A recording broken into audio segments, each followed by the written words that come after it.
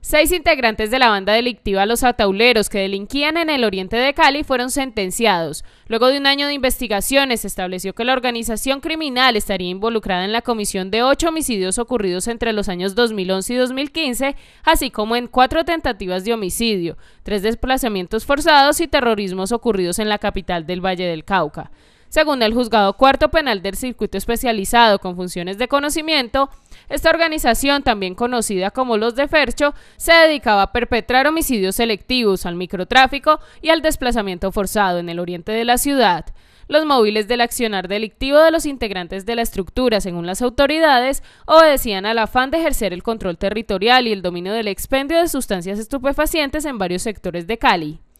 Cabe recordar que los procedimientos de captura de estas personas se llevaron a cabo el pasado mes de febrero en las comunas 13, 15 y 17, donde además fueron incautadas tres armas de fuego, municiones de diferente calibre, 1.700 gramos de marihuana y 13 dosis de clorhidrato de cocaína. Además, por los mismos hechos, hay otras 12 personas privadas de la libertad, de las cuales cuatro ya fueron acusadas formalmente y ocho están a la espera de que se les realice la audiencia de acusación, la cual fue programada para el 14 de octubre próximo.